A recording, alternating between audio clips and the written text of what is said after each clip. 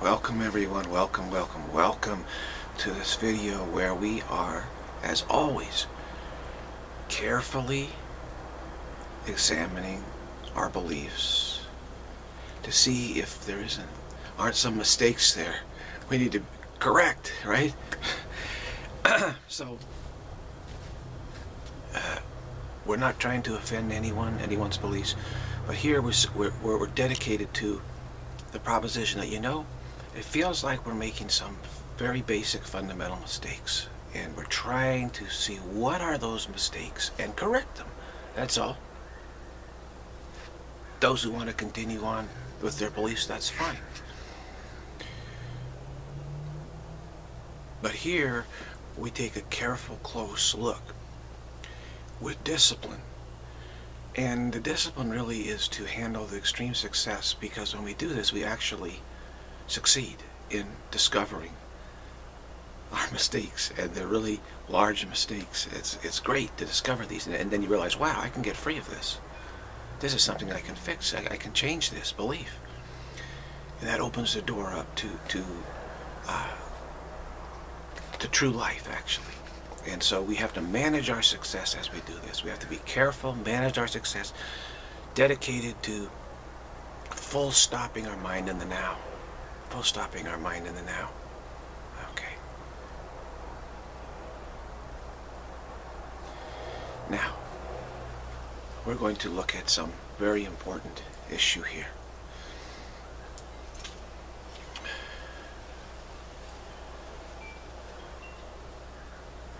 issue of sacrifice. Issue of sacrifice.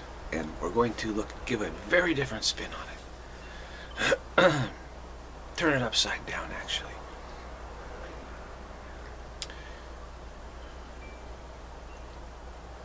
And it's about time, isn't it? we're tired of this nonsense.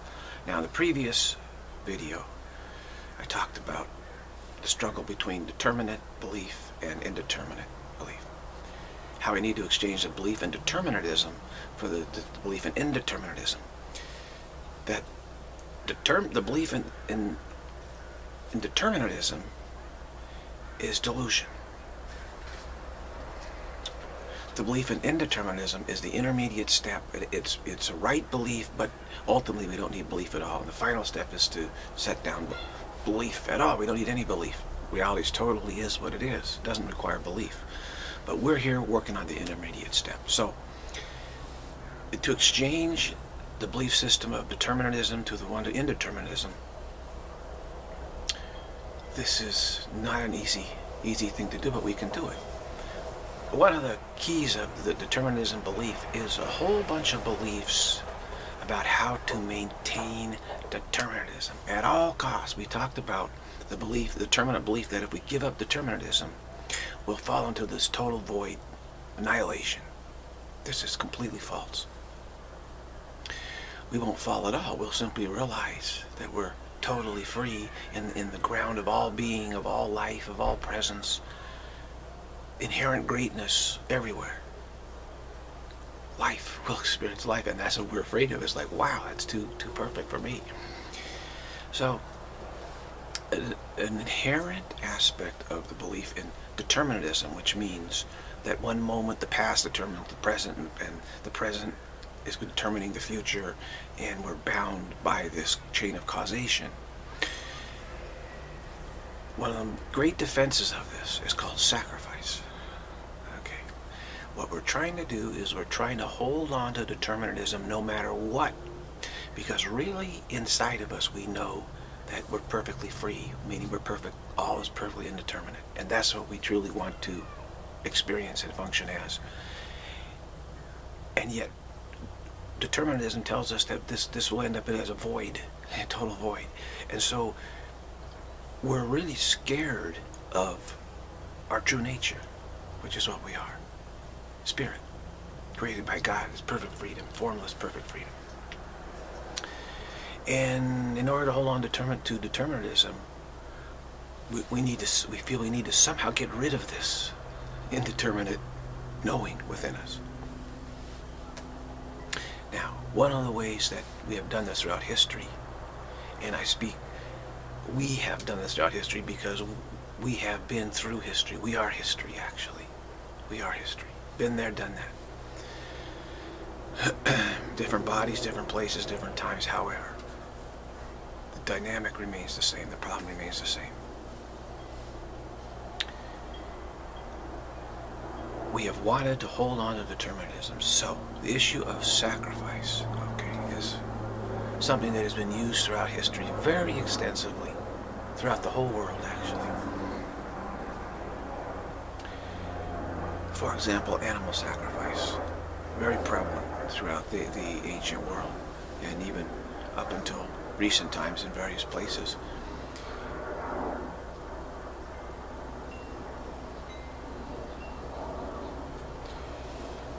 What we do with sacrifice, okay, what is it we're doing? Ultimately, what we're doing is we are feeling a need to shock ourselves back into grabbing hold of determinism more strongly. Because there's this natural desire here in the world to say, you know what? I don't like this world. I'd rather exchange belief systems back to the indeterminate freedom. But then someone telling us, well, you're going to avoid, you're going to avoid to be annihilated. There's no more past, so how could there be a present? You know, there's no more determinate past, so you can't exist at all in the present. This is the, the mis, a mistaken logic of determinism. So, what we do is we use the sacrifice as a, to shock ourselves, to frighten ourselves, actually. We claim there's an angry God wanting to punish us, you know. But that's actually our own fear projected. Okay. It's the fear, oh my gosh, I'm, I'm about, I'm losing my grip on determinism. I'm going to be annihilated. I, I need to fight myself. So I'm angry at myself. I'm so angry that, that I'm doing this. So we project that out. Our own spirit projected, projected is this angry God that demands the sacrifice, that demands what? Shock treatment. So what do we do? We get our very best animal, the animal that that is you know healthiest and strongest, that represents life to us. You know, this is like ah, this is important, very important for survival in life. Okay. Genetically, you know, it, it's it's it's going to give me a lot of food, a lot of more animals, etc. And, and, and we bring that animal to the priests who are in service of this angry god. And the, we, the, the priests slaughter the animal in front of us, you know. Pour out all this blood. And, and of course, we're watching, watching this, or at least, I don't know if they do it out of our sight, but usually I think it's done in sight. And, uh, and it shocks us. It's like, oh my God, this animal was killed. This animal's killed. It's terrible. It sh shakes us up, and and, and then we think, wow, this is what's going to happen to me if I don't hold get a hold of get a hold of determinism here. I better repent of my sins. The sin that we're we're atoning for is our own desire to be free of determinism. That's the sin that we're atoning for with sacrifice, and the, the atonement is really a shock. We're trying to shock ourselves into saying, whoa, if I let go of determinism, this is what's going to happen to me. I'm going to be slaughtered. This is horrible.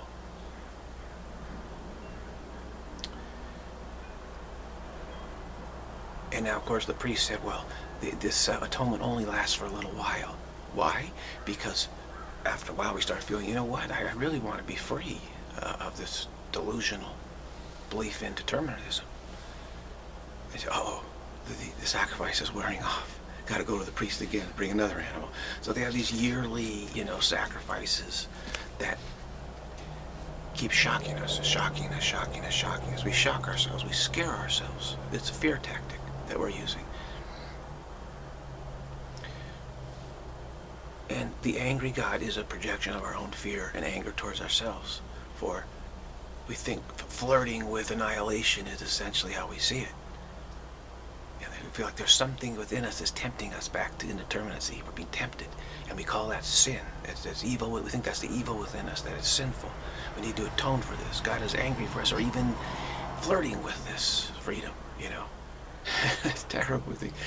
How dare you even flirt with freedom? So, we have the sacrifice to tell us, oh my God, this is what's going to happen to me. I'm going to be slaughtered if, if I do that. It symbolizes annihilation to us. Symbolizes annihilation. So we're scaring ourselves. Now, this gets into, so we bring along, now we're told that, that God will send an ultimate sacrifice. So you'll never have to have any more sacrifice. This sacrifice will now, what, what, what really happens? This sacrifice will scare you permanently, is what we're hoping for.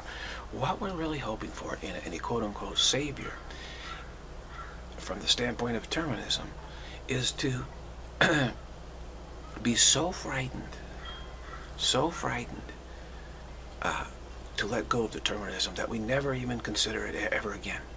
And we think that will save us. It will get rid of our quote-unquote sin. Okay?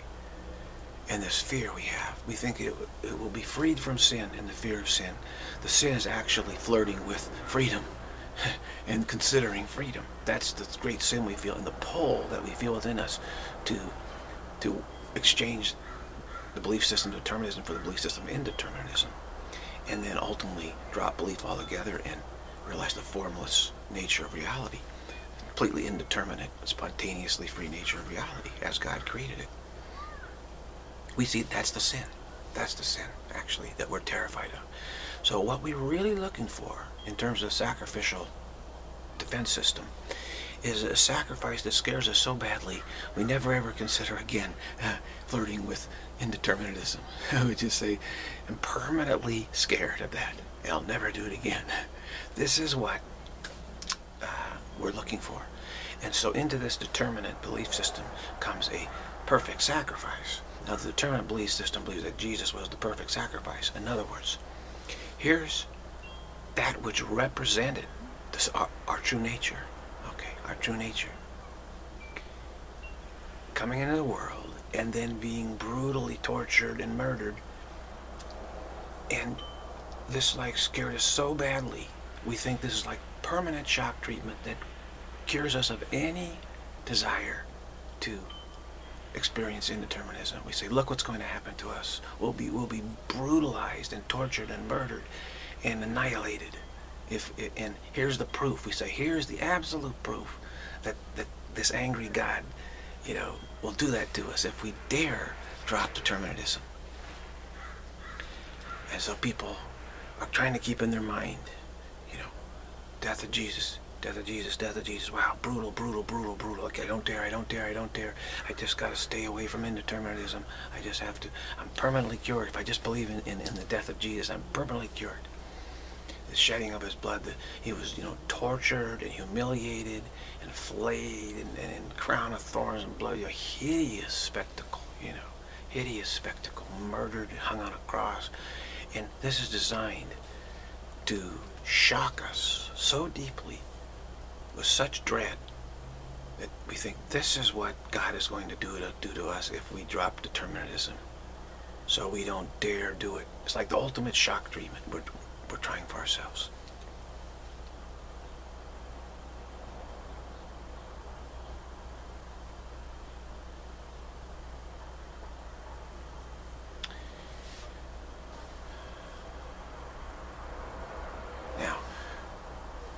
Course, we're far enough along where we, we realize we're able to look at this. Now, the, the importance of, of good habits of attention is the capacity to look at stuff like this in a calm, relaxed, good humor manner without the mind just shutting down.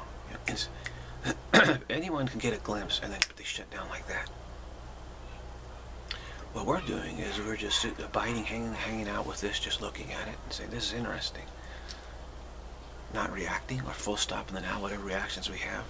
We don't try to amplify them, get rid of them, do anything. Just, just let them subside. Just let it be indeterminate. you can see why like, there's some movies, what is it, the, the Mel Gibson movie, The Crucifixion of Christ or something you know, and, and, and we're told as Christians supposed to go see this movie, see this movie, because it apparently depicts just hideous, shocking, you know, violence and gore and, and horror and suffering and everything. It's designed to scare the, the bejesus out of us. Okay, is what it's really designed for. And I didn't see the movie. I don't, I don't go to any movies. Nor do I rent them. Uh, this is scare tactics, shock tactics.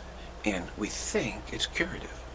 Because what we think from, from the, the uh, determinate belief system that we, we have is really an attempt to change what we are. Actually, spirit trying to change what it is, is what all nature determinate belief is. What we really believe is that, again, if we can scare ourselves badly enough, we might permanently cure our tendency to be interested in, in indeterminate belief and liberation from this nature, this, this, this actual dream. We think we can permanently scare ourselves. Scare ourselves straight. In other words, never, never again will be even tempted.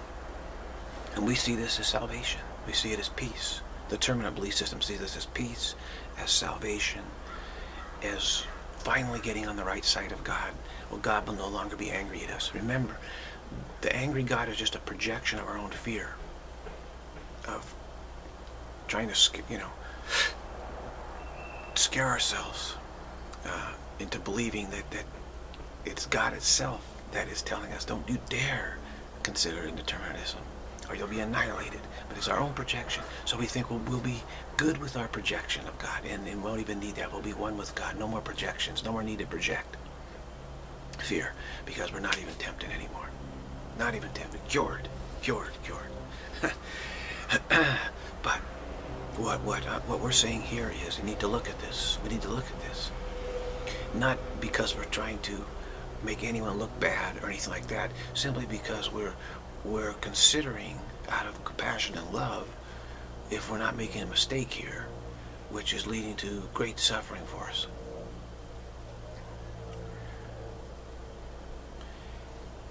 And the mistake we're making is that there is no void. See, we believe there's a void. There's an annihilation that must take place.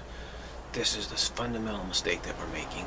This is what leads to our projection to angry God. This is what leads to our terrible fear of projecting angry God, desiring sacrifices to shock us, to, to try and cure us, and then to, to desiring the ultimate sacrifice, which is the appearance of, of our true nature in this world, so to speak, one who was not, was belief system of indeterminacy, which was what Jesus is and then demanding the sacrifice of Jesus to scare us permanently, and then worshiping that sacrifice as, as a permanent cure. But we have to question, does it actually work? And people say, well, you have to take it on faith that it's going to work, right? It must, it's going to work. We have to say, we can't even consider does it, was it work or not. It must work. We're saying it's, it's, it's the ultimate. We gotta, we gotta be able to scare ourselves totally. We say. So we put ourselves in a pickle when we say we must take uh, fundamental beliefs on completely on faith. Why doesn't faith stand up to reason? It should, because faith means pointing to that which is true, where we may not have complete evidence for it, but it's pointing to that which is true. Now, is reason in conflict with truth? No, true reason cannot be in conflict with truth. So reason should be able to look at it and say, is this reasonable? Is this really reasonable? Can, can we really look at this carefully? And not through sophistry, but through the, through the light of reason, which is the Holy Spirit within us, actually.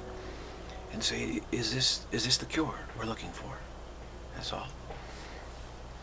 And just look at it. Don't attack it. Don't attack it. Just look at it. Attack, uh, look at it with love and compassion for God, for Spirit. Be fair to yourself be fair to yourself. Spirit trying to make its imprisonment permanent, that's hardly being fair to spirit, nor is that being fair to God, is it? Trying to make our this dream in prison, trying to make it real and permanent through scaring ourselves from ever even questioning it. Is that what God really wants for us? I Don't, you know, look at that.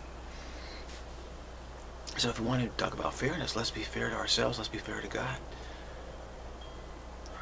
Does God really want us to see God as some angry, fearful God that demands we scare ourselves terrify ourselves and remain in this terrified for?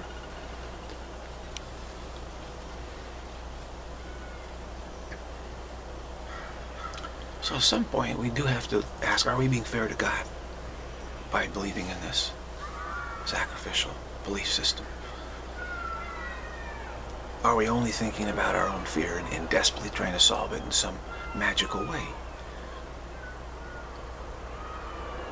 Now, ultimately, I say behind all this is the continuity fear. And the, the reason why I'm able to look at this carefully enough to actually bring about this clarification here is because my own continuity fear has been diminished to a large extent. How? Through everyday effort is how it's done. So it's just a gradual moving of your of your comfort zone from, from one belief system to the, to another. From the belief system determinism to the belief system indeterminism. It's a gradual moving of the comfort zone. So it's nothing that anybody should be frightened of. I've never had a sense of severe discontinuity while doing this. Never. It's gentle, it's gradual, it's gentle, it's gradual, it's gentle, it's gradual. There's nothing to fear about it except hard work. You know, it's a lot, a lot of effort, yeah. A lot of effort to focus your attention, for sure. But you're going to be focusing your attention somewhere anyway, right? You can't escape that. Nobody can escape that. So you might as well attention, focus your attention on that which is going to free you from fear right? And return you to glory.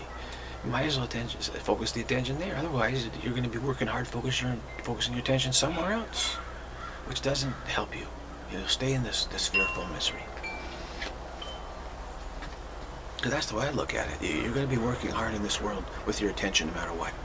So just work in this way.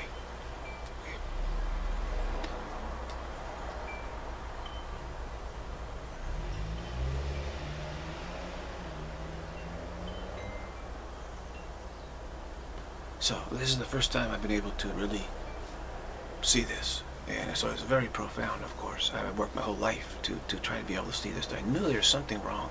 There's something really big mistake in this world. A lot of, you know, there's some, there, well, there are some key mistakes throughout history that we have participated in, which is fine. We, we had a severe continuity fear, didn't know how to work on it, and uh, felt, felt that we were going to fall into a void and uh, we've been, so we've been acting that out. Acting this fear out. We don't need to keep acting it out.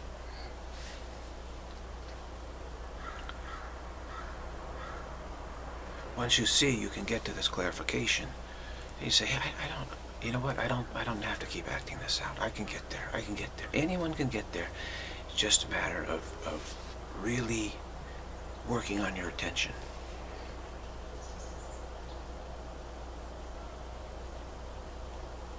It's a beautiful Saturday day in California here, autumn day. Absolutely lovely. You know, low 80s, soft breeze. I mean, it's just perfect. What am I doing? I'm studying all day. I'm, I'm taping all day. I'm thinking all day. I'm focusing. I'm trying to clarify all day. That's, that's been my life, basically. But this is what gets it. It results in the ability, the capacity to, to see through even the sacrificial, whole sacrificial complex. And that's not a bad thing at all, is it?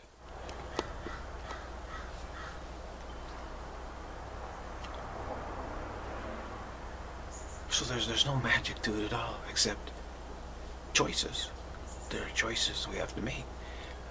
Where, where do we put our attention? If I'm out doing something today, that's where my attention will be. Okay, I said, no, let's let's keep going here. Let's keep push, pushing it here. We have progress we need to make.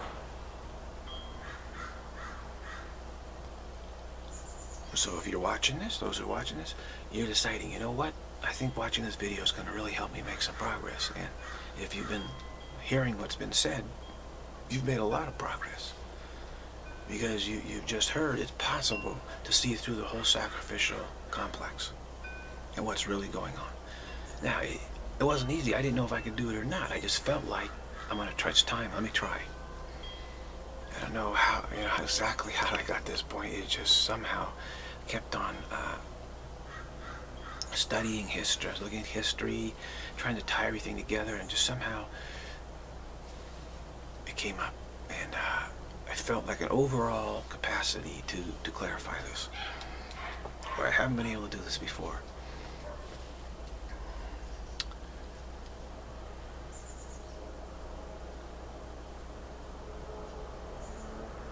Now, also animal, you can do nature sacrifices with plants, with food, whatever, whatever, whatever is you know important to you for your survival. It's very precious to you. Seeing it burnt to nothing is is fear. It's fear. But we, we of course say we like it. Oh, this is this is helpful. I like this. We like this. But it's really fear. It's shock treatment.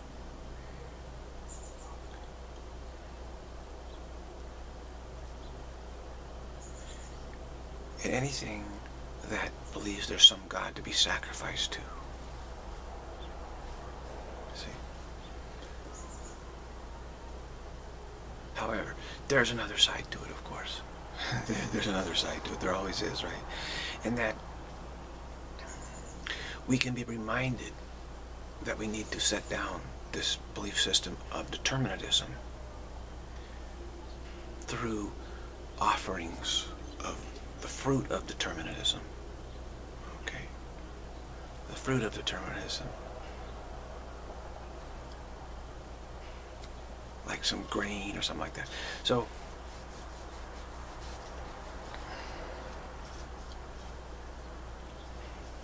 But certainly, the whole thing about an angry God, needing to appease an angry God, needing to appease, uh, atone for sins, all of this, this is 100% coming from this sacrificial fear complex as we have laid out. And so let us just let us just focus in on that.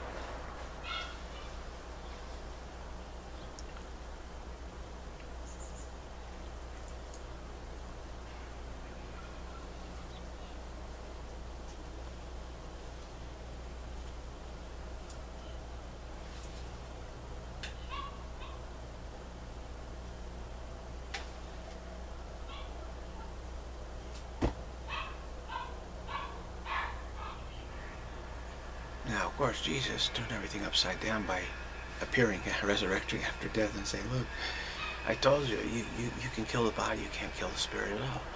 And I was unaffected by it. And you know, there's no void. I wasn't annihilated. There's nothing like that. And at that point, you know, the, the ones who paid attention to that said, wow. Now, wait a minute, how do we get both? So what's happened is Christianity has tried to hold on to both, you know, the, the resurrection and the crucifixion. Crucifixion, they keep teaching, is a sacrificial atonement for sins, and the resurrection is, see, huh, you know, like a question mark there, sort of. Like, wait a minute, not so fast, what's going on here? You know, it's, it's like,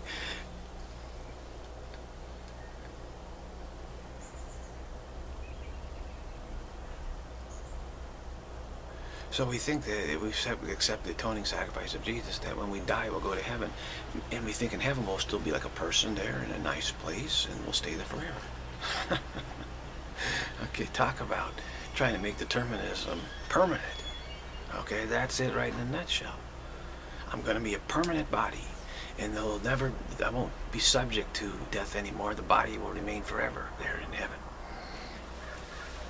There'll be a place where I can always be determinate without any possibility of being tempted to be indeterminate. This is, you know, their belief in heaven. That's what heaven they think is like. And so they think if they just hang in here until they die, then they'll be safe for safely uh, in the, the terminate belief system will become permanent for them. And then believing in Jesus, it helps them not be tempted through life so they don't give up on determinism before they die then hopefully they say, ah, it's too late. It's too late. The mind can't even consider the question anymore. I'm now permanently determined and I never have any fear of annihilation. Avoid it ever again.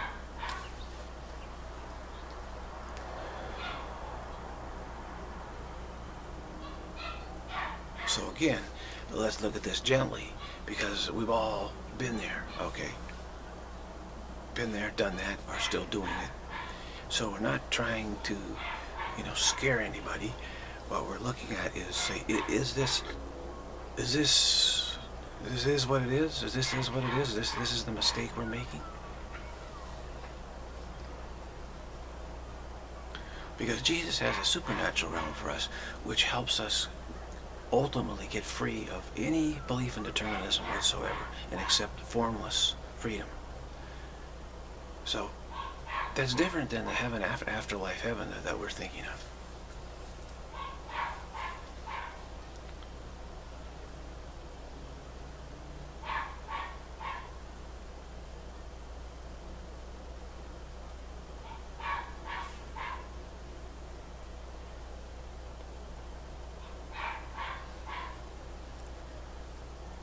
So we don't have to be frightened of, of looking at this because the option that Jesus has of, of supernature is always available to us, actually. Ha having an invitation to do it myself. I know that Jesus is waiting to give everyone an invitation to his place. It was nothing special for me whatsoever. He's waiting, simply waiting for everyone. He's going to give an invitation to everyone eventually when they've evaporated enough continuity fear so they're able to get perspective and say, wow, I don't need the sacrificial belief system. There is no angry God. I don't need to atone for anything. There's actually been no sin at all. Uh, desiring to be free, indeterminate, is not a sin. It's what God, how God created us. How could that be a sin?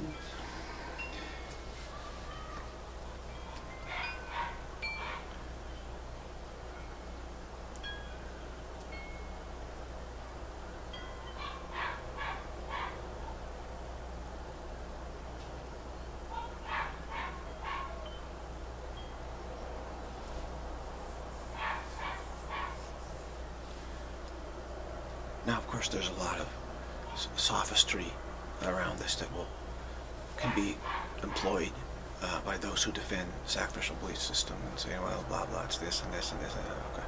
I would say this, this explanation here is a very one worthy of considering, actually. Was just a full stop. Don't be uh, determinate about it. Just, just see if you can just stay this in this indeterminate beingness. Say, okay, that's that's worth considering.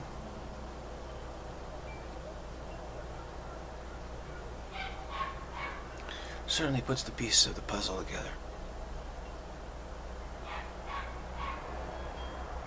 Jesus insists that God's not an angry God, God's a God of love. Pure love, perfect love. How could that be an angry, fearful God demanding sacrifice, you see? So this, this, this angry demanding God is a projection, has to be. So we're trying to appease our own fears through scaring ourselves even more. This is called doubling down. This is what I say is called doubling down on, on delusion. Doubling down on determinism. This, this is not the way to go.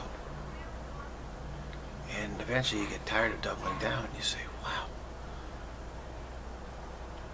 this is, this is just, I can't take this doubling down anymore. Isn't there, is there an answer somewhere? And it's like the most difficult thing in the world to find any answers here. I mean, trying to go through books and reading my whole life, I've been looking.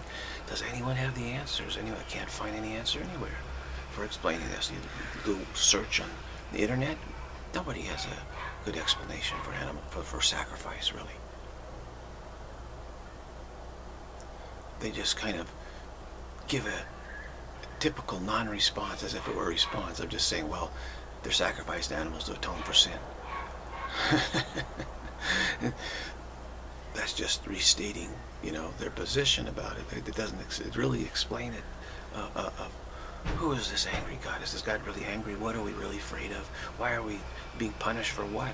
What do we need, you know, why do we have to do this? Sinful nature? What was our sinful nature? I don't know. There's all these questions. See, that never get answered here. So, you know, I just feel I've made it my business to, to answer it because it, it is very important.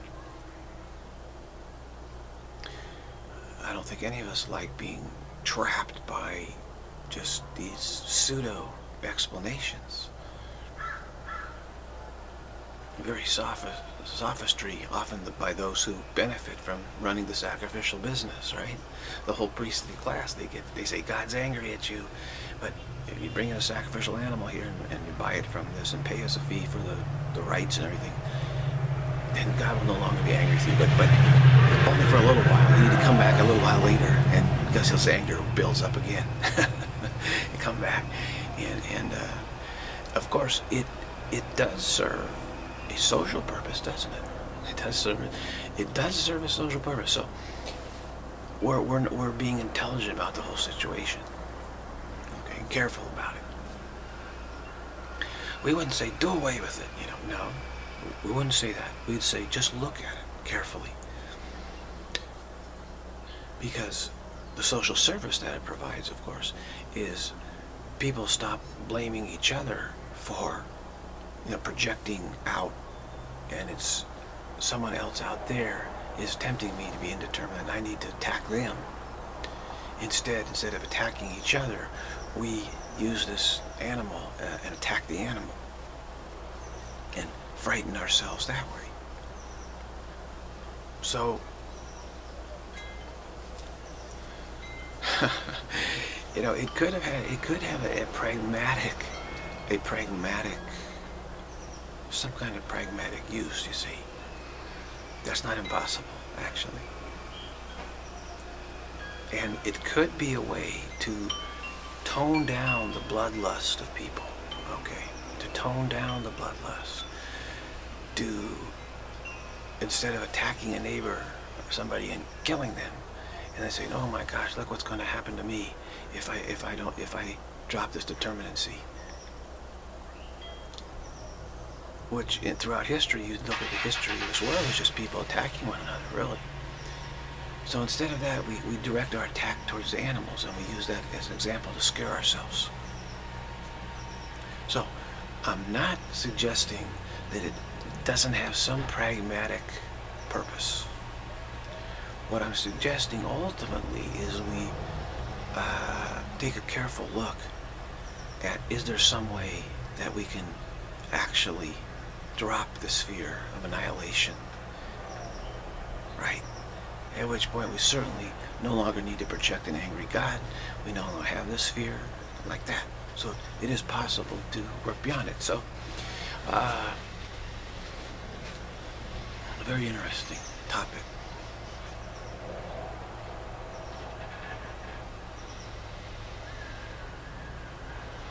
Same thing with, with all sacrificial uh, actions in the world. It could be that it's kind of like a uh, a way to tone down what would be a worse situation without it.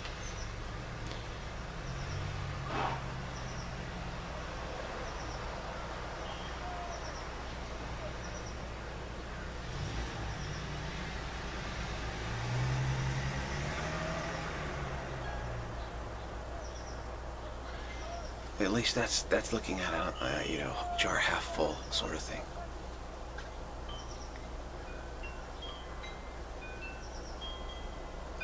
So you certainly would want to move from human sacrifice to sacrifice of animals, then to sacrifice of grain, food, various things like that.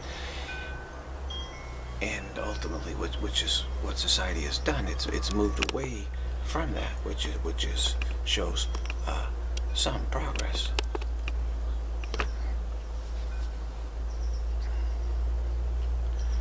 However, we still need to identify the root cause of it, you see.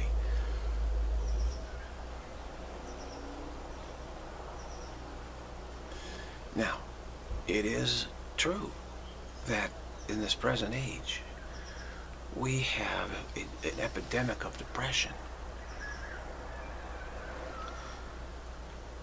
Mental illness, severe troubles, and it is in my opinion, and what I look at it is, it is because of this dynamic of terror that that we're, we're, if if we drop determinism, we're going to be annihilated. And it may be very possible, and fruit and food and things or whatever, that this actually takes the pressure off of this mental illness situation. And that if this mental illness situation gets more severe, more severe, we, we may very well go back to warfare.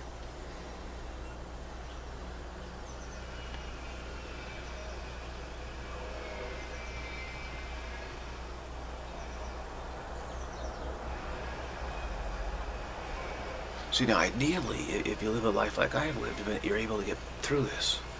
But most people are so caught up in, in, in, in their attention is so fragmented that they can't do it. They don't, they're not able to spend their lives this way. So they have this need to try and scare themselves to hold on to determinacy. And they feel if they're not holding on to determinacy, the fear builds up too severe and they, they you know, it interferes with their uh, ability to relax, to stay calm, to sleep, all of this becomes very severe.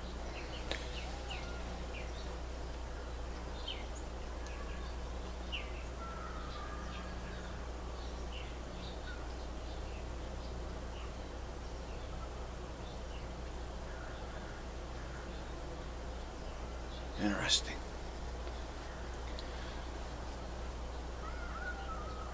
So we went to so, seeing what, what, what, what it really, what's really going on. We're scaring ourselves to avoid what we feel is annihilation. Now to seeing that there may be some pragmatic usage for it. Uh, so we don't get too scared. Because in this culture we're, we're living in, nobody's really looking at the situation in depth. You cannot drop uh, good habits of attention without this inner fear building up on you. You see? You cannot do it.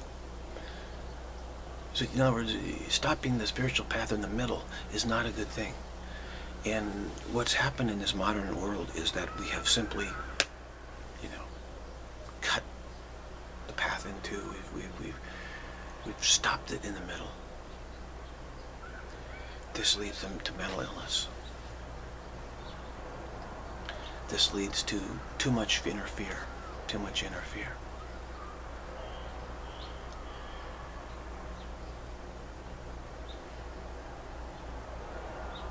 So I would say that there needs to be, uh, from a pragmatic standpoint, I'm just brainstorming, there needs to be those who truly beyond sacrifice are able to discipline their attention, their habits are good enough, they're able to dissipate this fear and keep working, working it through, working it through. They don't need, they don't need any sacrifice at all.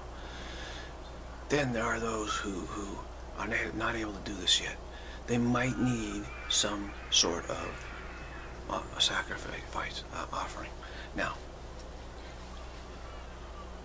of course, the Catholic Church uses the death of Christ and the Eucharist communion to to help people, you know, to shock them, keep shocking them and saying, this is what's going to happen to you. You know, if, if you turn to indeterminacy, uh, this will keep prevent you from doing this. This will prevent you from that okay? And so the people relax, okay? They relax. It, hel it helps them that way. They, they believe that they're being, uh, it's like medicine. They believe it's like some kind of medicine they're taking to prevent them from going to, in, to indeterminacy. And, and they feel that if they just take, do this and die this way, the problem's solved. Of course, it's not. It's not solved at all because they'll be reborn and they have to deal with it, continue, keep dealing with it. But this is how the Catholic Church deals with it. So it's it's a pragmatic step. It's a pragmatic step. So I think Jesus was a pragmatist here. And it's not a good idea to take that pragmatic step away from people. Okay? So I am not an iconoclast by any stretch of imagination. I do not suggest anybody be iconoclastic here. could make the situation worse, you see.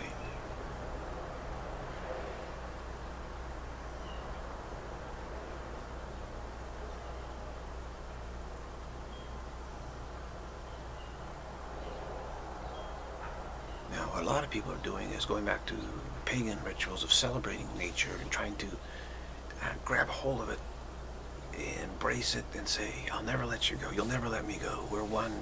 We're one. You, you, you determinism. You and me are one." You know that kind of thing. We're, we're united. We're fused. We, I can never leave you. That's that's you know paganism, and that doesn't really deal with the fear, the feeling of sin within, the feeling of there's something within me that is trying to disrupt this relationship. And so what they do is then they end up projecting it upon other people. And then you have wars. Mean, if you look at pagan times, it's nothing but war. Horrible. Nature worship and war and just awful. So what, what Christianity, Christianity has done is say, look, let's let's have this rite, this ritual, which will scare us, keep scaring us, saying, wow, I don't dare let go of determinism because uh, I'm reminding myself of this.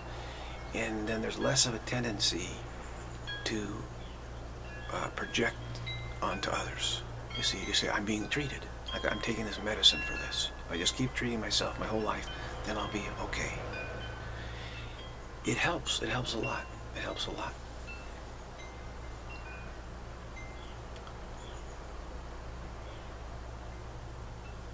Now, it's not the ultimate cure, is it? You know, taking an, an imaginary medicine for imaginary problem is not exactly the cure. so, reason has to be the cure, ultimately.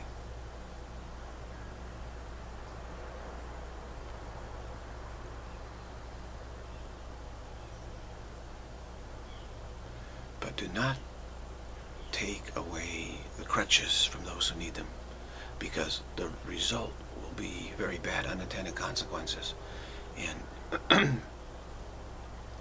I believe as, as secular humanism, which is really pagan nature worship, gets stronger and stronger and pushes religion more and more and more and more, they're going to suffer backlashes, unintended consequences of this. Because these people really do not want to go back into nature worship. That's not their where they're at. You take away their crutches, the way they their scare tactics. Let's let's face it, they're scare tactics. Okay, that's right. They need them. They need the scare tactics. Take those away, and they'll start projecting their sin, sinner, which is really the inner desire for the indeterminate truth with, that is truth, that is freedom, that they really are. They'll project this sin out onto others, and then feel that the others, you know, are to blame for this.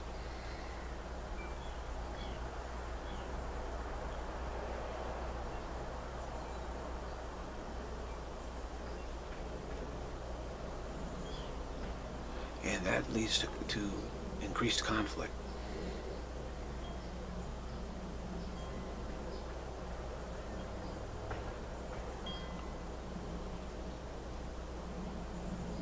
it, it leads to greed. The, the, what, what exemplifies the modern age is greed, is greed. Paganism leads to greed. Greed leads to warfare. It's saying, hey, you have what you have can help me with my inner sin here. In other words, all those determinate treasures that you have things. I want them. I want them. I need them. And you're keeping them from me. So I can't have them. You're sinful. This is wrong you see. And both sides are doing this into the other, and it's just, it, it breeds conflict for sure. History tells us it breeds conflict for sure.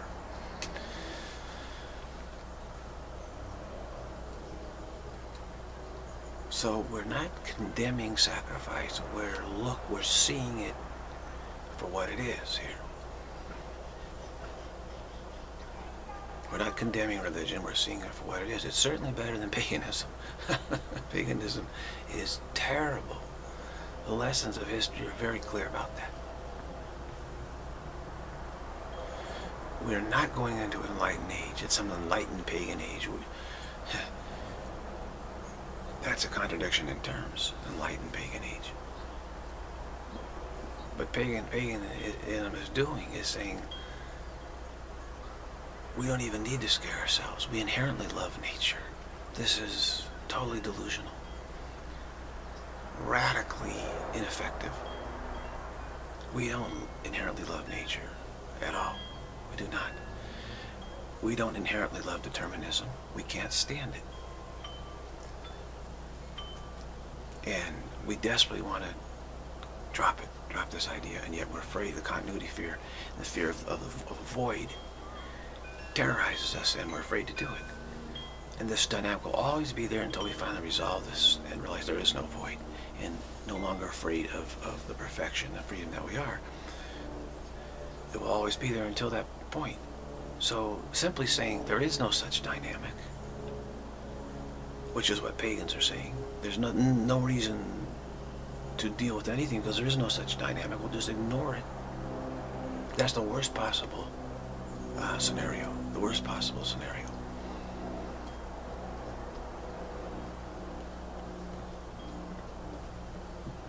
Because for sure, what will everyone will do is just project, project, project, greed, greed, greed, lust, lust, lust, attack, attack, attack.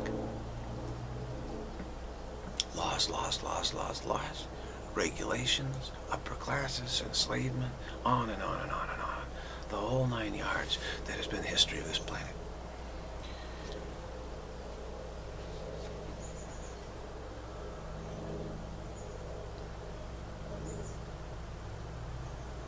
Now, keep in mind, for instance, Buddhism says no sacrifice. Okay, that's fine. But it came from the Sh Shramana tradition, really. Modified Shramana, which, which is asceticism. Uh,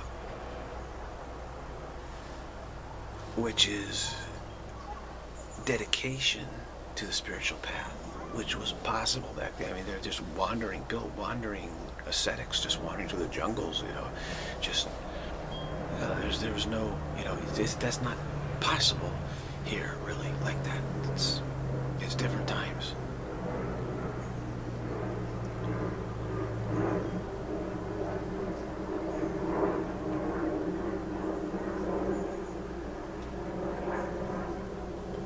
So those who, who, who are mature in dedicating their all their attention to, to the spiritual path, yeah, they don't they don't need uh, sacrifice because they, they, they take on the, the task of looking at the sphere. What is this? They take on the right practices to evaporate the continuity fear. So they're moving briskly along the path. If you're moving briskly along the path, you, you probably don't need any of that this safety valve sort of thing, you know. But for those who are not moving so briskly, you, they're building up this feeling of sin within them. Like, wow, well, I, I, don't know how to deal with this. This is horrible. And they go to church, they get the community and say, oh, I'm forgiven. Okay, everything's great. I'm forgiven for this inner sin that I have. God, God uh, took it away from me. The death of Jesus took it away from me. From me. like that. It, it's a skill, a prag pragmatic same situation.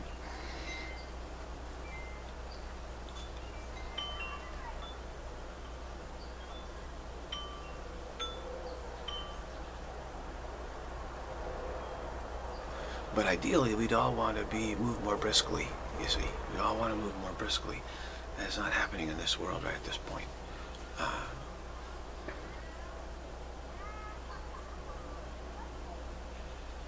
The Shramanic tradition completely denied rituals, sacrifices, and all that stuff. Said, no, that's not, we're, we're doing spiritual practice. And from their standpoint, of course, they're, they're doing what really works. But you have to also keep in mind that the householders and those who, who can't quite do it that briskly are going to build up this inner fear of fear within them, this so-called sin, this feeling something's not right. I'm, I'm attracted away from nature and bodies and people and families, and I think I just don't feel. Oh, it's think oh, it's terrible. It's terrible. Void. I'm going to fall into a void. There'll be nothing there. You know, and they feel sinful, sinful. Something's wrong with me this can't, God couldn't have created me this way. I must be sinning against God. You know, this is, and they don't really look at it deeply enough. So they may need to frighten themselves uh, back, you know, out of that. Otherwise, they may take more drastic measures. So I would say that organized religion is, is a pragmatic exercise in a lot of ways, especially the sacrificial ones, uh, to avoid an even worse outcome. know, more to tone down the drasticness of the situation here. And indeed, it's very drastic. With, without these kinds of, of organized religions keeping society, uh, giving a safety valve for society for getting rid of this feeling of sin. Uh, now, of course, see, people say, well, I'm sinning because I'm, I'm accepting animal nature, you know, doing something that's animal nature, something like that. That's the sin. But what they're really saying is, is we should be able to perfect humans so humans can be permanently determinate and, and be happy that way. And just that we're not animalistic, we're, we're uh, you know, above that, above that, and just remain like that. And claiming those are the sins, you know, which is, of course, that completely, again, is making is saying, let's make determinism permanent. You know, and that's the answer. so I need to, you know, confess my sins and be absolved from them, etc., like that. We're just saying, don't worry, God, go, okay, God, God will not cancel out your humanity. You can remain as a human. In other words, you can remain determinate. Don't worry. God, God's decided that, yeah, you can remain determinate. Oh, good, good, good, good. I can remain determinate. That's great. I'm afraid there's something inside of me that's kind of crazy, you know, indeterminate. and so this is how it works. It, now, it may be that there's a parting of the ways of those who, who are beyond this now and those who, who are not. I don't know. Uh, certainly, if, if, if you're still believing in sin and guilt and determinism and you're human, God created you human, but you know, if you believe all that stuff, you're not ready for an invitation to, to supernature. You're not ready for it. That's why, you know, we're always told, no, you have, you have to wait till you die. After which there's no proof of what happened, so, you know. Uh, but to those who, who, who've gone beyond this and recognized, seen through the whole situation, there's no reason to wait till you die, you know, for, for supernature, absolutely not.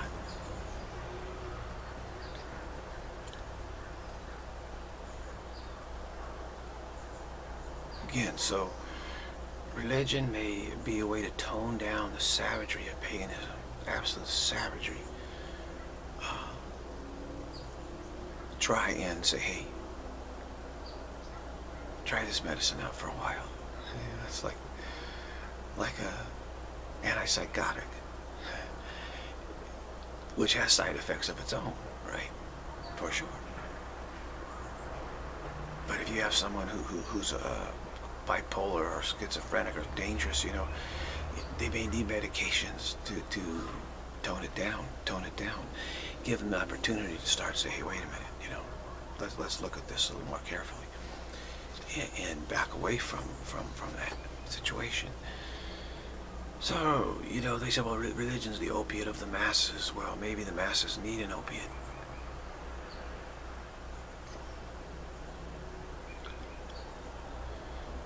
And uh, maybe those secular humanists need an opiate too. For sure. I mean, this is the intelligentsia saying, yeah, religion's the opiate of the masses. We don't need that. We can embrace, we know how to embrace nature directly. You know, now they need even heavier than opiate, heavier than opiates. Maybe they need stronger opiates, actually, than the masses. What, what's the opiate of the intelligentsia is the question. Criticizing the masses, probably, is their opiate. Uh,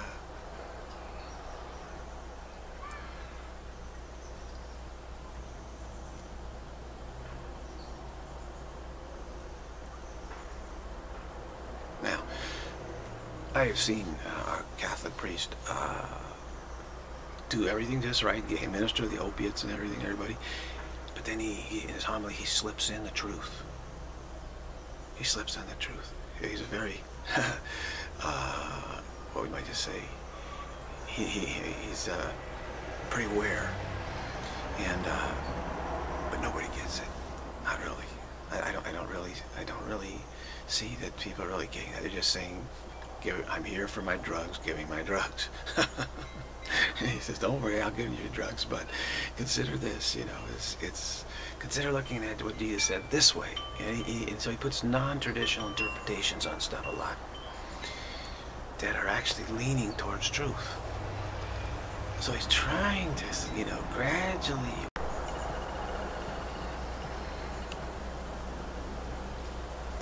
but I don't I, it would seem as though there needs to be some inducement for people to work a little harder at, at religion and realize that uh, they have to make greater efforts. Because I think if, if you just it's sort of like people who take med medication they just say I, I, just, I'll just take it for the rest of my life that's fine and I'll die and that'll be it. And they don't really make efforts. This is what I'm seeing. This is what I'm seeing. I don't see the Catholics really making much effort. They're just taking the drug and, and be told you do this the rest of your life you'll, you'll be saved no problem it's finished everything's done. Because they didn't didn't tell them that they would freak out so it's a way to subdue severe paganism but severe paganism needs to be subdued. Okay. For sure it does. Or else we'll turn into Spartans you know and that wicked wickedness of the Spartans and of many others throughout history the Assyrians which is repeating itself. Assyrian history is repeating itself. Akkadian area of, of Mesopotamia, you know, the northwestern area of Iran, and, and go into the, the, northeastern area of Syria, and that whole area, that's, that's the Syrian area, which is, which practiced massive terror on, on everybody. Bring the siege, siege engines to the town, says either you open the gates and let us in, or we're going to massacre every one of you. One or the other. And then if they didn't want to let in, they, they ran the gates down and massacred everybody, sparing no one. They're extremely vicious. And we're seeing the same thing. Either you convert or you're all massacred. so it's the same place in the world as, this, as historically this took place, you know, in, what was it, the Assyrians, 700, 800 uh, BC, 700 BC,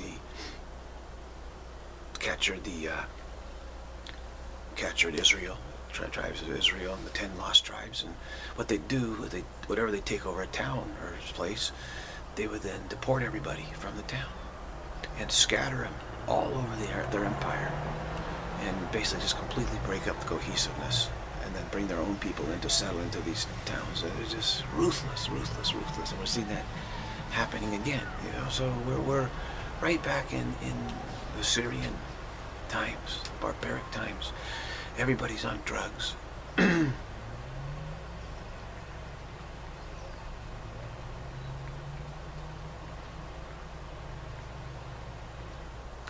of course, the church kept people in line through excommunication by saying, look, if, if you go back to your pagan ways, we'll excommunicate you. We won't give you these drugs.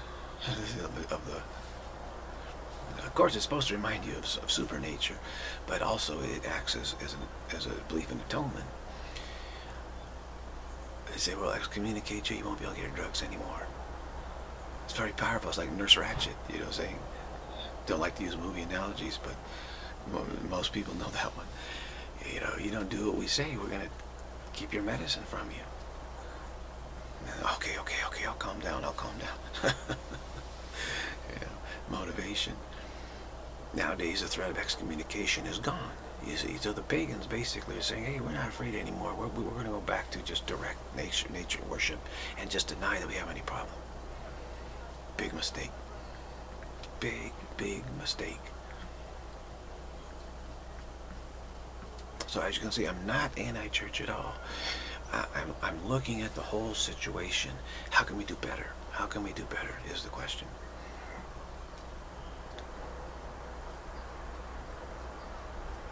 Because I, I want I want everyone to have brisk progress. Brisk progress. I know it's possible. If you actually dedicate your life to it, you're going to succeed. Otherwise, you're going to continue to take your drugs or go back to paganism. Neither one of those are attractive options, actually. I mean, the Catholics are not happy. You know, there's no, these people aren't happy there. They're basically saying, I'm, I'm, I'm going to have to keep take this drug for the rest of my life, and then I'm going to die, and hopefully that's it for me. I'll stay in the determinate heaven forever. But in the back of their mind, you can tell they got questions. They're not cured. Easy to tell. Easy to tell.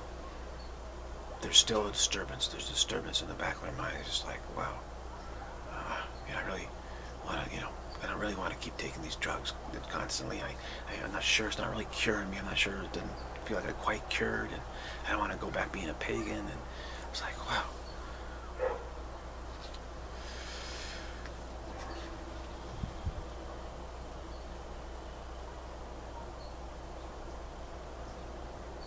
So it, it's kind of like, you know, you have to be careful when, when you try to help others. You have to be careful. Don't take away their crutches. You just have to modify it in some way.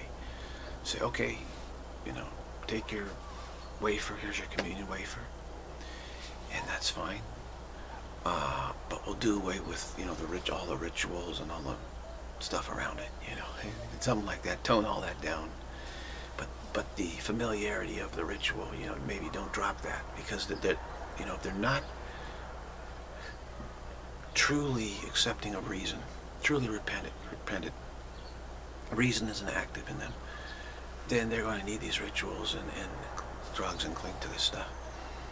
Because only when when reason becomes very active in you, and you embrace reason, are you able to then actually see all this clearly. Otherwise, uh, no chance.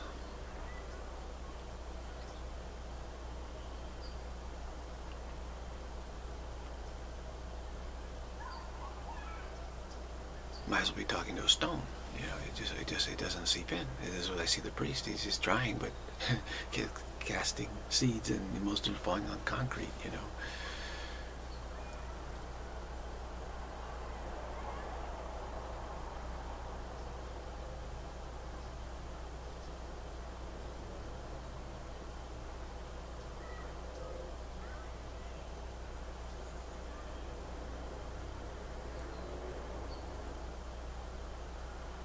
Birth of reason is, is the great birth, is, the rebirth, born again. In, in, in, in its first, it's the gestation. Ultimately, being born again is being born again into supernature, but it begins with reason. Reason is really the beginning of this new birth, this new life in Christ, in supernature. And uh, it starts out very gently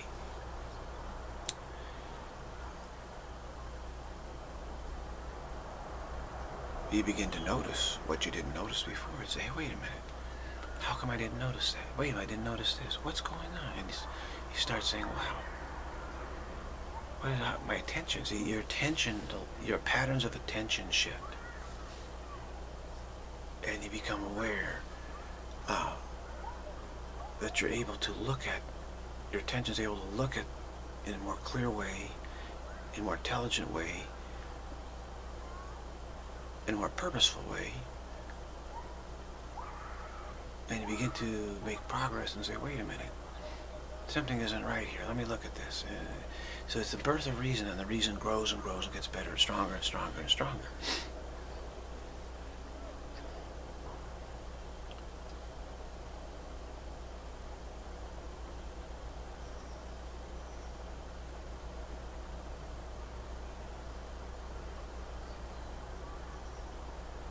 So see uh, what can be done. This, this, is the question, isn't it? There's, there's, uh, unless people are really, you know, briskly going along the path, they're going to stall out. And when they stall out, the fear is going to build in them. And as it builds in them and there's no outlet for it, they're going to get depressed. I mean, it used to be people would just uh, try. People tribes would get together and say, "Hey, you know what? I feel like um, I, I, feel like going and fighting another tribe." They say, "Oh yeah, great. Let's all do this." You know, and, and I just you know ancient history and history is just full of conflict, conflict, conflict. Let let's release these pressures.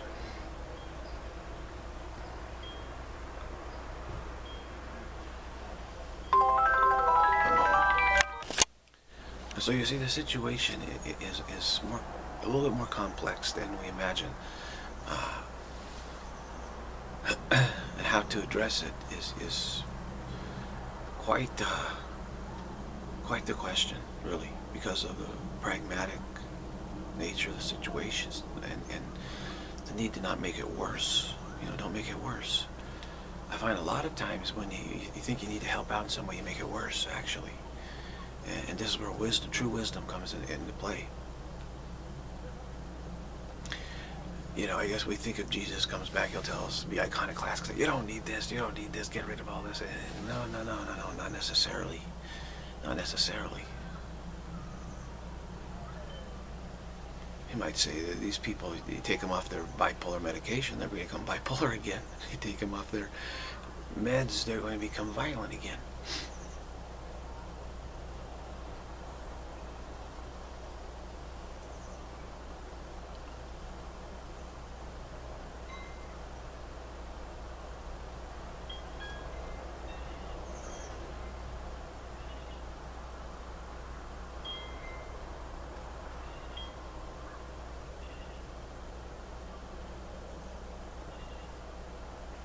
So they say, let's just, so they say, let's just accept this extreme violence of God towards us, or extreme anger towards us from God, which is really our own anger towards ourselves, and let's just accept that this violence was was put onto Jesus as representing us, and and so God's violence is subsided, you know, something.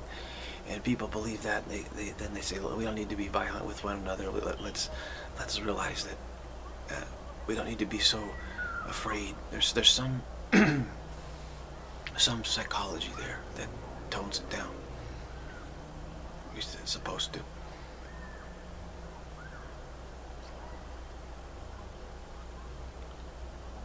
Yeah, God God shocked us. God's violence. See, this is what God's violence shocking us in Jesus. Shocked us so bad.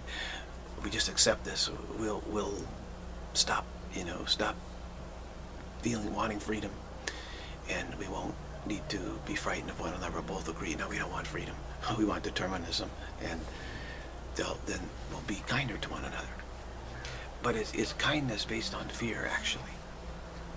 It doesn't resolve the trouble at all.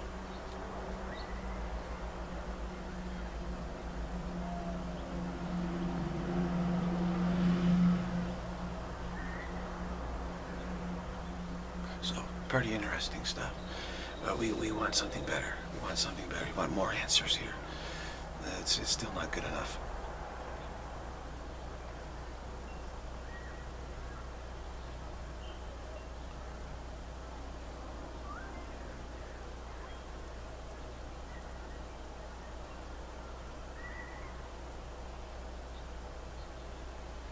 See people project their own anger at themselves onto God thinking God is angry at them. So I guess what people, what religious people say is just, well, yeah, God's really angry at you, but he forgives you. you know, I, you, can, you can flip it and say, well, I'm, i feel simple that I was, I was holding on to determinism here. And I know God's really angry at me for doing that. Uh, but we're, no, we're really angry at ourselves for doing that.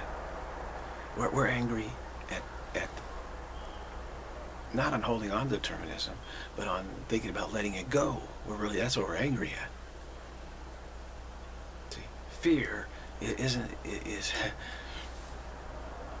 and we're also afraid if we let it go you know things will be too good. So we have this just overall fear and we think well god must be angry at us or fearful of us.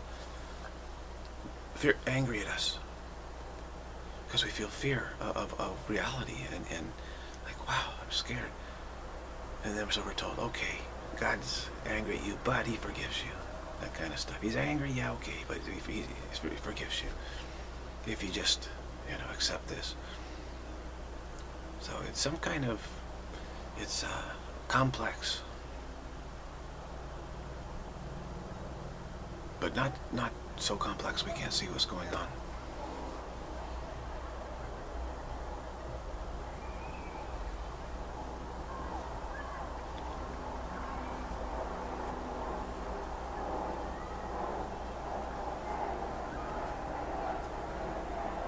And even when people die, they pray for them, pray for and say, I hope you didn't become indeterminate. I hope you didn't do it, become indeterminate. Please. Uh, they pray like, you know, the, the, the goddess of nature, that however they pray to the nature gods, please make sure that they're still determinate. Please make sure they're still determined. So when I die, I can see them and I'm determinate too. They're determinate. They make sure they didn't become formless. That's horrible. That's the void, we think. So it's a mess. It's a mess, the situation we're in.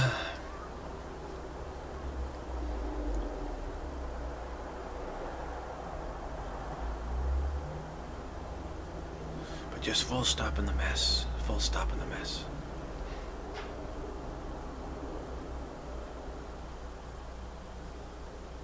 Because we've been in this in the mess for the last 4,000 years, however long history has been going on. Now, there may be a history before that. The, the, ancient, maybe Phoenicians and the Titans and the, you know, the prehistoric giants and the, that, that, you know, the, the, the, patriarchs of Noah before the flood and all. You know, it, goes back before recorded history. We have much any, any recorded history at all, but, so, but as far as recorded history, you know, the Bronze Age and all that. It's been going on for these 4,000 years, which is only 40 generations of 100 years. A lot of people that would be 100 years old now, so just 40, just 40 of those generations is 4,000 years, totality recorded history. So it hasn't been going on that long, actually. You see, so to shrink it down, say, wait a minute. Haven't, we haven't been insane for that long. Or at least struggling with the situation for that long.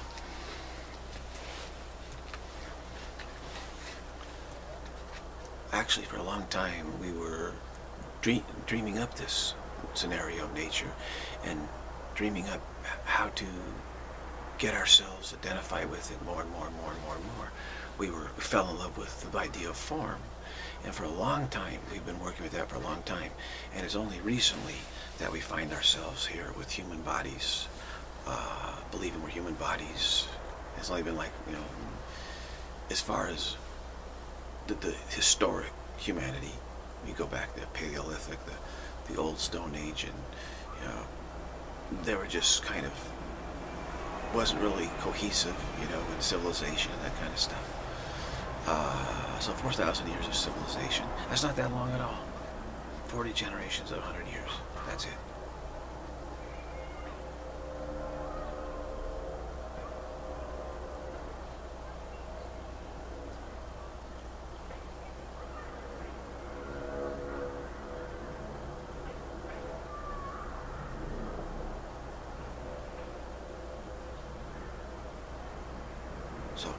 The upshot of this is, you know, how to structure going forward. That's something that, that's up to, to like Jesus, the Holy Spirit, those who really know.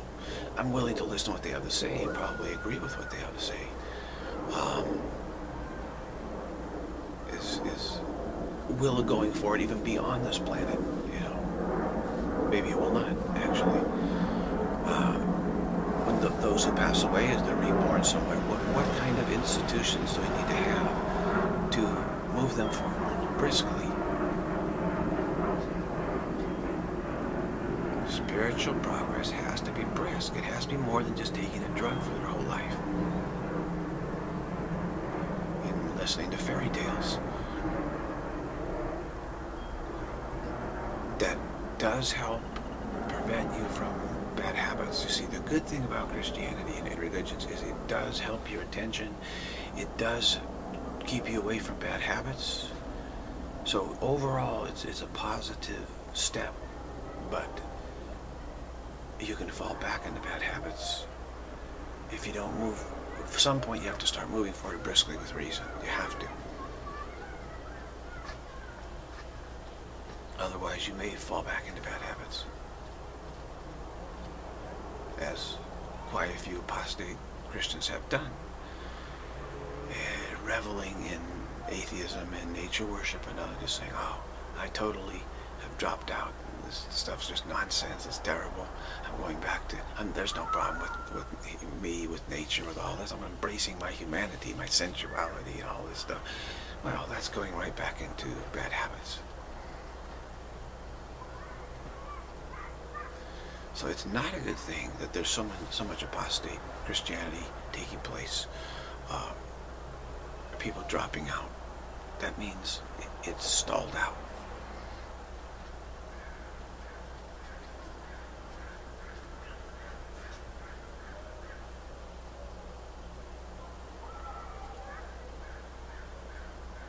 It means that people need need something better.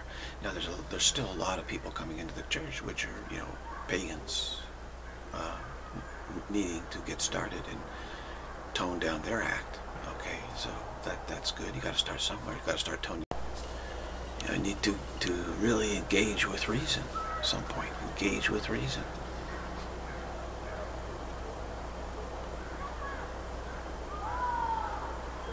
Which is much deeper than engaging with intellect. Engaging with intellect is it does nothing. You have to engage with reason.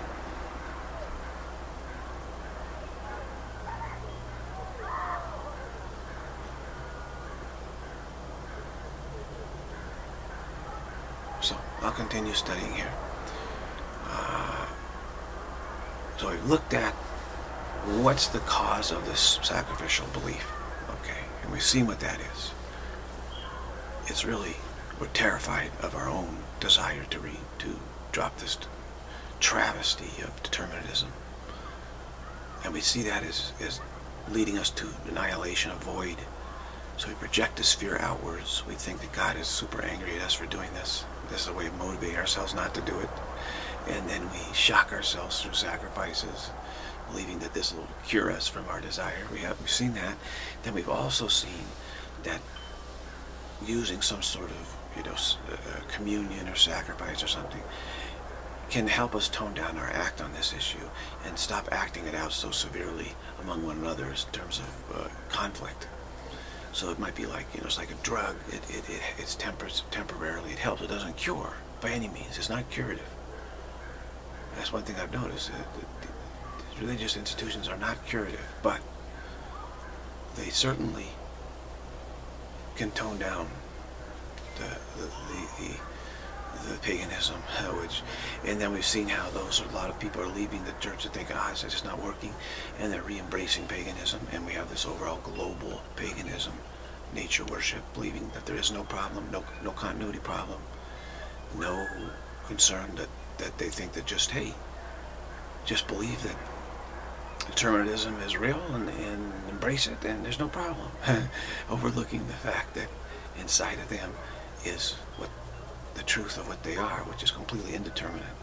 Just thinking they just ignore it. You know, just ignore it completely. This, of course, as we're seeing in the world, is leading to a really nasty world.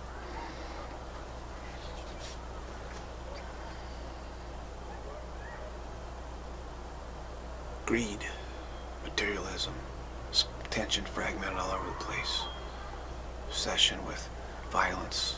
You look at the games that are being promoted for children and stuff. Just, you see barbarians, all right? You know, Thracians or uh, name all the barbarians in history. Probably name hundreds and hundreds and hundreds of them. You name like the Assyrians are dressed like Assyrians or something, or, and they're uh, throwing bombs. They got all the swords and hatchets and stuff, and shields, and they're throwing bombs and incendiaries and shooting and stuff. Just like tribal warfare, tribal warfare. This is the stuff that kids are being sold. Is they're being sold on tribal warfare, essentially. Right? You think that's a great, great trend? That selling our children on tribal warfare is better than telling them to go to church? And telling that God's angry but he forgives your sins? Which is better, you know? It's like saying, hey, bipolarism is great. Whenever you're really up, just go out and create mayhem. That's okay. Just do whatever feels good. You like mayhem, do mayhem. Or, why don't you go to church and say, yeah, uh, God's disappointed in you, but he forgives you, and here's the sign of forgiveness. And, you know, you take that, that grudge.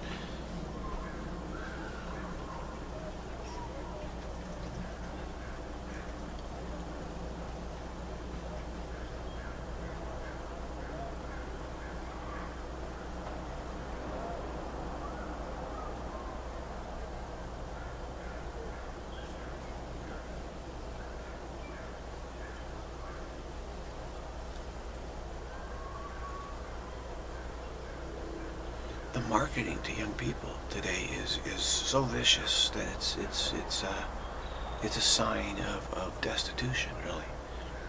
I mean I cannot even remotely imagine uh, this kind of marketing when I was young.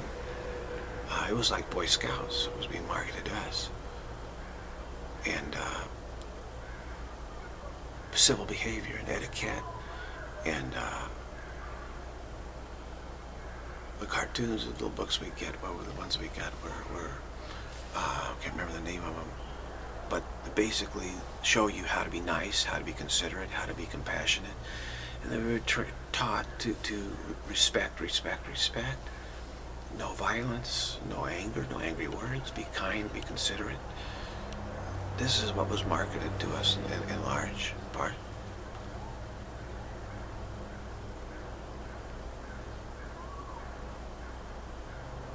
Use your reason, use common sense. Don't, you know, let reason enter, let reason enter into the situation. This is what we were taught. This came, came from the Judeo-Christian heritage of this country, actually. Nowadays, what are being marketed is tribal warfare.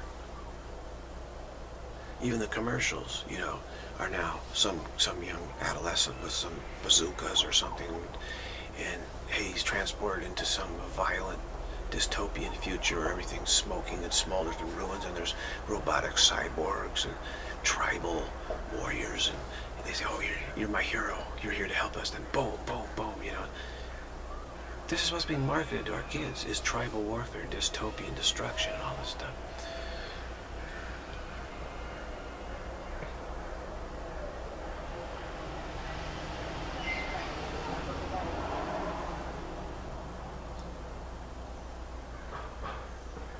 Say that this is a drug that they need. Instead of expressing their fear, projecting it out to everybody and going on rampages, they go on rampages on their video games. Alright, well, that's possible.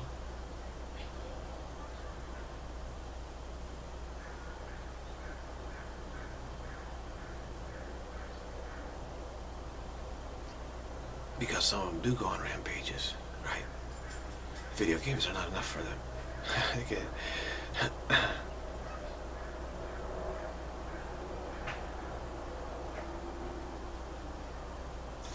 Pretty weird, weird world, isn't it? Uh, so, additional clarification is needed on this big topic of what do, what do we do? What's going to happen? What do we do here? And we're just kind of sorting it out. Maybe it's all okay. It's just you have these extremely fear-ridden entities, spirits coming into this world now. And they have to have all this violent stuff and violent games just to prevent them from creating absolute mayhem in the world.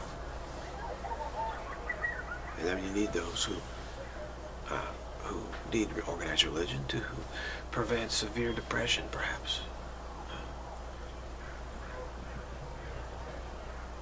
Saying, okay, yeah, okay.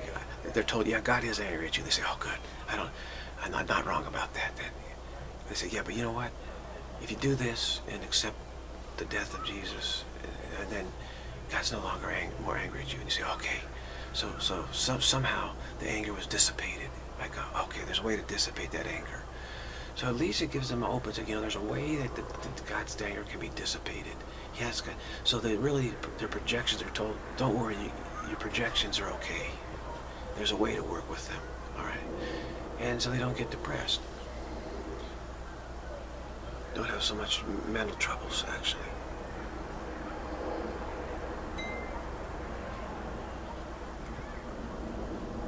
Safety nets, social safety nets.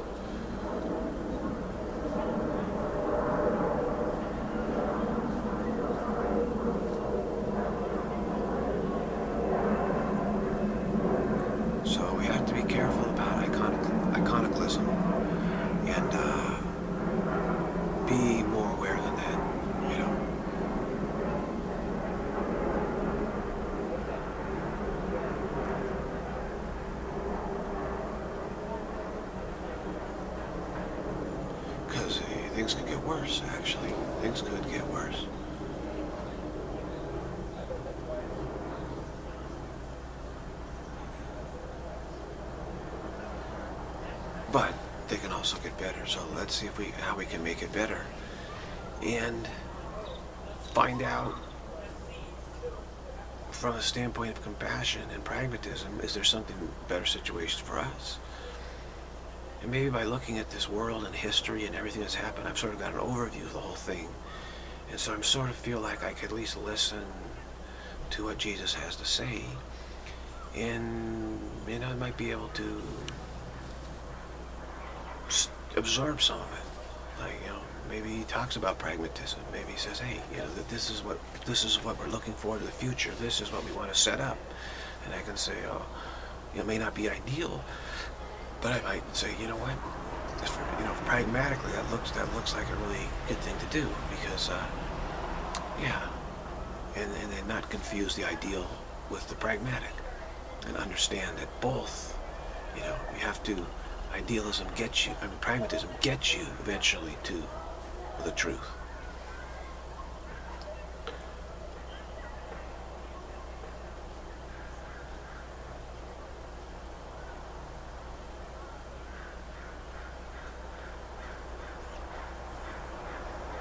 Clearly you cannot, I've tried to bootstrap people as well. clearly you cannot do it. It, it freaks them out completely. Dangerous. You think that, that like certain Christians are all loving and etc. No, you take away their fundamental beliefs and, and, and try to argue them out of it, and they'll try to kill you. I mean, that's the fact. Because they, they, they feel like you, you, you are pushing them into the void. and so they say, no way, you're not pushing me into the void. We'll push you there first. So you cannot uh, try to forcefully take away people's crutches.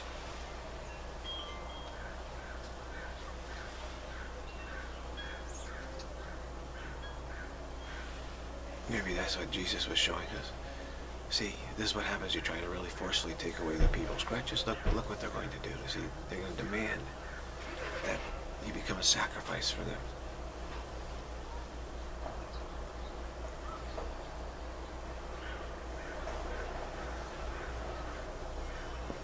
So hopefully there's uh, some pragmatic clarification that arises here. We're certainly looking at, we're willing to look at the situation through both deep clarity and also deep pragmatism. It's like, yeah, it's, yeah, it's, it's, it's, let's say that you're a psychiatrist, you know how to cure somebody, but it'll take 10 years. But you, someone comes to you and they're so messed up, they're so self-destructive, you say, hey, okay, look, take this medicine. And it's a holding pattern, you know, and and uh, you realize maybe this some this is someone that is not going to really get cured right now, but let's make sure they don't get worse and hurt themselves and hurt others. And just because the psychiatrist gives medication doesn't mean that they believe that's the only only that's the only cure. They believe it's a cure, or believe that you know not necessarily, not necessarily.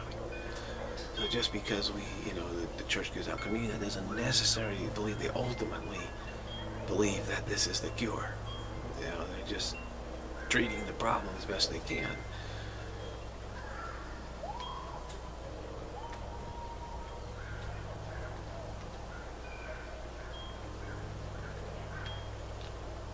So there's not really a conflict there uh, if you know what, what the truth is, and, and then you, pragmatically you can go back and say, how do we get these, how do we help them to the truth? And we see that, you know, they, they, they're struggling, we need, little, need some help, then you try to give them help, same time realizing that help can, can be a permanent crutch, you know, it's, it's a fine line, it's a fine line. Once you start making, giving people stuff, you know, that they can become addicted to it, and they can say, I don't need to, I don't need to, to work at this. It's a fine line uh, that has to be looked at too. So I don't know. It, it's this this whole thing is the whole situation in the world right now is, is difficult to assess, isn't it? It's an age of transition to an extreme extent. Extreme extent. Global extent. There are many transitions to history, but nothing as extreme as right now. We're getting a very extreme transitional situation here. So we need to be, you know, really informed, really intelligent, really aware, really discipline our attention, all of this. So at least we can hear, consider some options, consider some options. So I'd like to know what our options are. Because again, you can't you can't bootstrap people in this world. It's just not possible. It doesn't work that way. The idea of some sort of revival, just everybody said, oh, okay, yeah, it's, it's just is ideal pie in the skyness.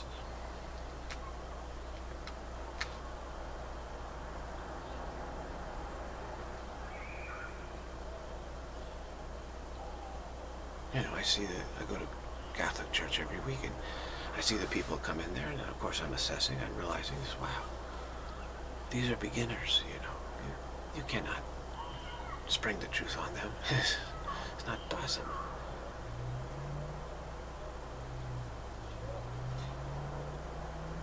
You can't just bootstrap people here. This is not possible. Continuity fear, this fear of the void is just so extreme. You're going to cause a severe reaction. So I can't just go in there and start get up in front of the Catholic congregation and preach Course in Miracles and say, folks, don't worry, all this stuff's nonsense. You don't need sacrifice. You don't need this, this, this. You know, no, God's not angry. There, freak them out completely. It just does. It's not. It can't happen. It's not going to happen. So you know, it's a waste of time thinking that it will happen. Uh, so we need you know better options for our lives. It's it's it's same thing of any. You can't just go to some religious religious people and tell them, hey, religion is nonsense. Don't need it. and see what happens. Then you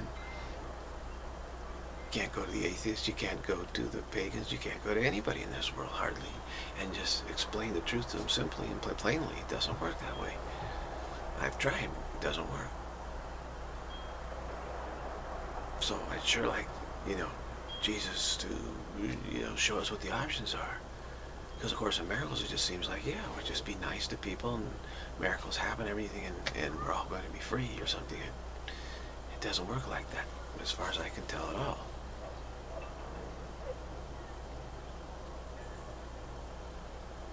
so we're, we're missing, we're missing a piece of the puzzle, is what I'm saying. We're really missing a piece of the puzzle. Part of it seems to an answer. I got an invitation to visit Jesus' home, his dwelling place.